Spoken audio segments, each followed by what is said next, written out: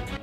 முப்பத்தி மூணாவது ஒலிம்பிக் போட்டி கடந்த இருபத்தி ஆறாம் தேதி பாரிஸில் தொடங்கியது. நூற்றி பதினேழு வீரர்களுடன் பங்கேற்கும் இந்திய அணியின் மீது மிகப்பெரிய எதிர்பார்ப்பு உள்ளது. கடந்த ரெண்டாயிரத்தி இருபதாம் ஆண்டு டோக்கியோவில் நடந்த ஒலிம்பிக் போட்டியில் நூற்றி இருபத்தி நாலு வீரர்கள் பங்கேற்ற நிலையில் மொத்தம் ஏழு பதக்கங்களை இந்திய அணி பெற்றிருந்தது. ஒரு தங்கம் இரண்டு வெள்ளி நான்கு வெண்கலத்துடன் ஏழு பதக்கங்களை பெற்றிருந்தது இந்திய அணி. இந்த நிலையில் ரெண்டாயிரத்தி இருபத்தி நாலு ஒலிம்பிக் போட்டியில் இந்திய அணி எத்தனை பதக்கங்களை வெல்லும் என்ற எதிர்பார்ப்பு அனைவர் மத்தியிலும் இருந்த நிலையில் நேற்றைய போட்டியில் மகளிருக்கான பத்து மீட்டர் ஏர் பிஸ்டல் பிரிவில் வெங்கலம் வென்று இந்தியாவின் பதக்க கணக்கை முதல் முதலாக தொடங்கி வைத்தார் மனுபார்கர் நேற்று மனு வெங்கல பதக்கம் வென்ற நிலையில் இந்திய அணி பதக்கப்பட்டியலில் ஒரு வெங்கல பதக்கத்துடன் இருபத்தி இரண்டாவது இடத்தில் உள்ளது. புள்ளிப்பட்டியலை பொறுத்தவரை ஜப்பான் நான்கு தங்கம் இரண்டு வெள்ளி ஒரு வெங்கலத்துடன் ஏழு பதக்கங்களுடன் முதலிடத்திலும் நான்கு தங்கம் இரண்டு வெள்ளி மொத்தம் ஆறு ஆறு பதக்கங்களுடன் ஆஸ்திரேலியா இரண்டாவது இடத்திலும்